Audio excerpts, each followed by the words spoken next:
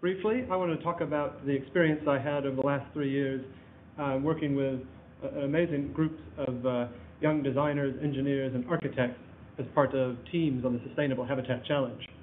Uh, it, the Sustainable Habitat Challenge is currently a network of people all around the country interested in understanding how we can create a more sustainable human habitat. Um, I got into this uh, several years ago as an as energy researcher, inter- looking at all of the ways in which we use energy, perhaps uh, a third in our lives through the products we buy, a third in the houses that we heat or the food that we eat, and a third in all the transport that we do. And all of that uh, energy is ultimately comes together in, in, the requirements for how much we use comes together in our habitat, our human habitat, how it's constructed.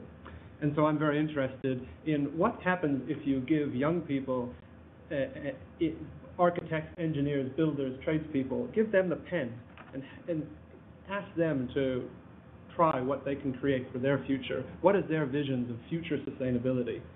So uh, we're asking people to get involved actually this year.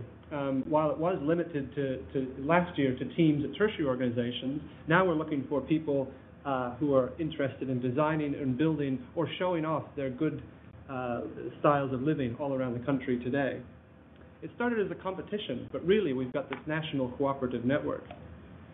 Um, and yes, we do have lots of supporters, um, you know, the institutions and such, so um, it's good to show that. But what we really have is groups of people. And uh, this, for instance, is a team up at the University of Auckland, the engineering school. Actually, not just the engineering school, there's uh, uh, young people from the art school, or from art programs and uh, commerce programs and engineering programs. Uh, here's a group of uh, young builders and apprentice tradespeople from CPIT. Um, they, that's Christchurch Polytechnic and Institute of Trades. Uh, all of the teams, what they were tasked to do was to look at housing problems, ha habitat problems in their community. This is an example from Wellington where they looked at uh, what they can do with inner city flats. Um, all of the teams were asked to collaborate not just work within their disciplines, not just architects, not just designers, not just engineers, uh, and it, it, to collaborate. And in fact, we had several situations where we were able to collaborate around the country using video technology such as this one. Uh, and also teams got together and worked with local groups and sort of really tried to stimulate imagination. This is in, in Wellington again, they got a group together and had people sort of draw visions of urban sustainability. And of course, this is just not a practical thing, but uh, a, a, way of getting the mind going. But there was also some uh, engineering nous behind it. You know, we had young, uh, young engineers and, and, professionals alongside them working to sort of say, well, how can we model what we're doing and uh, look at energy implications.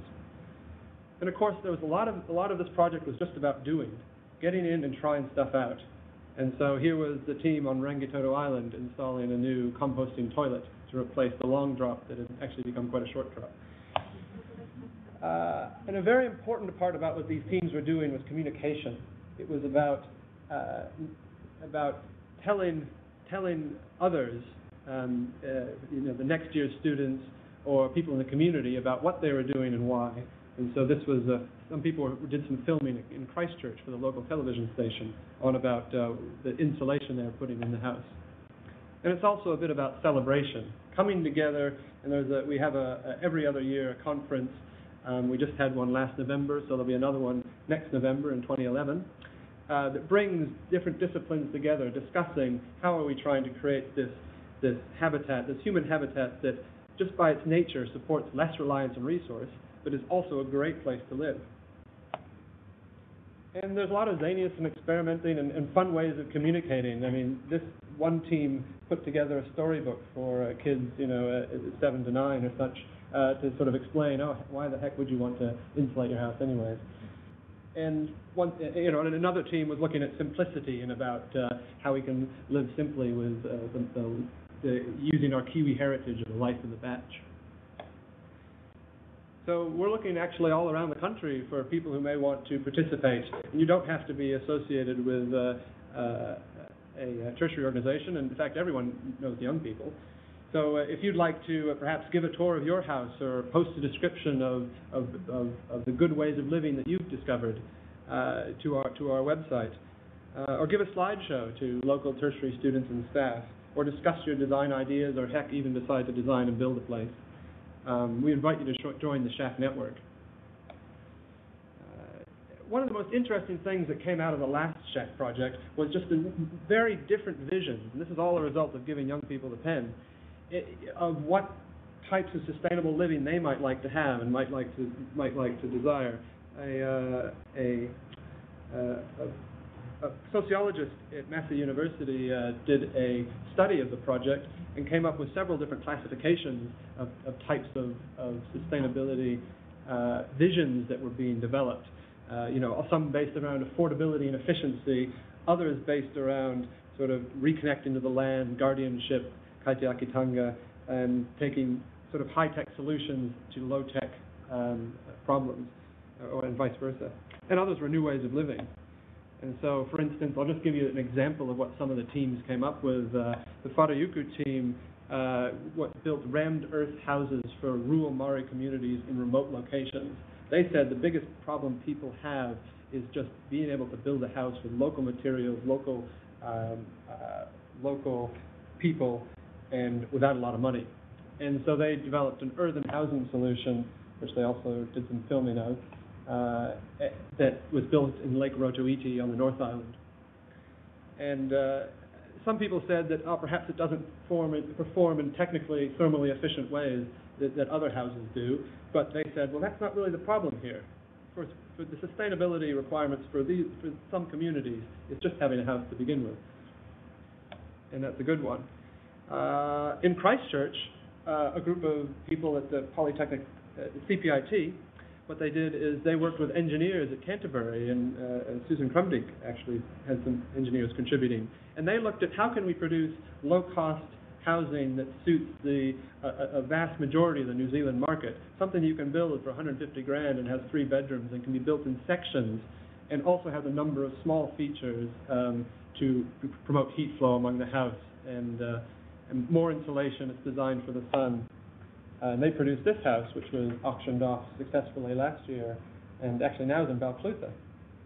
Uh, and this is some of the videos. It was really amazing to see how this really brought together the staff, the students, and the different trades at, at CPIT and the engineers at the university um, in ways that we hadn't seen before. And people were really excited to work on this. This is an example of what their interior students came up with all using you know low VOC products and, uh, uh, and, and natural materials, but still appealing to people who like this conventional style of house. Another project that was part of the Sustainable Habitat Challenge was a retrofit of a, of a state house in Auckland.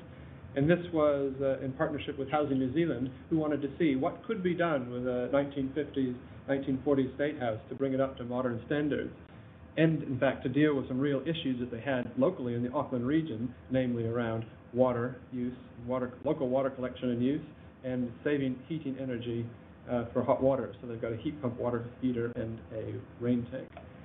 Um, they also redid the, uh, the, uh, the interior a bit, adding insulation, preserving the original windows, but adding heat retaining curtains, and also adding some indoor outdoor flow with a deck but uh, what I really liked is when there was a team from uh, Unitec uh, that focused on products, because of course it comes back to my thought that a third of the energy we use is all about the products we buy and, and how we use them. So one, one student there designed uh, replacement washing pegs.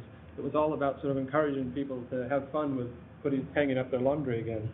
Uh, so these are, these are washing pegs shaped like birds. Uh, another student came up with a design for, for gardens in inner city uh, locations or highly populated locations. Um, so you can have sort of vertical things that attach to the downspouts. And another student just looked at what sort of products could we have in in high density housing where you've got less space. How can you how can you have uh, small well-made furniture for small well-made houses? And finally, the, the the Wellington team looked at how can you revitalize inner city uh, inner city apartments. How can you make apartments so lovely for Kiwis, not used to living in apartments, uh, that they won't want to, say, commute from uh, Upper Hutt every day? How can you reduce transportation energy use and provide a great place to live? Um, so they looked at this uh, addition to the apartment building that we saw earlier uh, that would allow for um, clothes drying, a place to grow food, potentially a place to get some solar energy, um, and uh, just generally revitalize the apartments. So the result of this uh, competition was was the, co- the collection of a whole slew of really amazing ideas and actual documented steps at how these ideas were achieved. Uh, there's there's quite a lot of information on the website um, that we have the address shac.org.nz. Um, most of the plans were published. Teams came into this with the idea that they would learn things and then share what they know, and a lot of that stuff is available online. In addition to that, we came into contact with many other good houses around the place, which we are still looking for more examples of, so I'd be happy to hear about that. Uh, this house in Golden Bay that was built by a builder who said, I don't want to do any more maintenance. I want to build this very low maintenance house with uh, low energy needs as well. It's got a beautiful view. Uh, in, just in Hampden here, there's a, a, a, really good example of a small, high-quality house right on the train line, uh, also right on the beach. Can't, can't get too much better than that. Uh, actually, the owner wants to let it for 200 a week if anyone, anyone wants one. they're, they're, in, they're in Australia right now. Uh, great views. Um, there's actually a group right now in the East Cape trying to build a Whareropo like this. Not, this isn't the one. This was built earlier by some students at, at Unitec. But trying to really see what can be done for people who want to try different types of housing. Uh, and here in Dunedin, we've got uh, uh, Peter Lewis, who's working with plastic blocks trying to find can they be used as building materials or perhaps as insulation under rib raft concrete floors. And there's some testing going on at the university about thermal properties of that block. And here at the Polytech, we've got people looking at how they can retrofit a, uh, a house on, on the campus to sort of show people what can be done for good retrofit opportunities. And to, uh, at Hamilton, they're also looking at a student center, developing one that has houses students on campus. So there's lots of really good projects. I don't think we've seen half of them that are going on right now today. Um, one of the things that came up in, in the meeting today was the emotional connection that people were looking for with sustainability and the um, and the need to sort of take practical steps to, to work on this today. And so uh, we, we've definitely seen this with the SHAC project. Um, and um, yeah, just invite everyone to join.